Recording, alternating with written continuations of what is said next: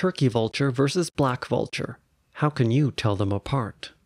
Since the turkey vulture and the black vulture have overlapping ranges, it is possible to mistake the two.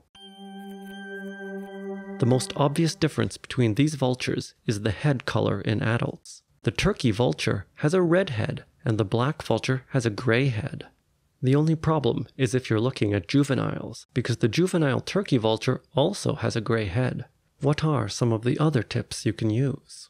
The turkey vulture has a brownish coloration, whereas the black vulture does not.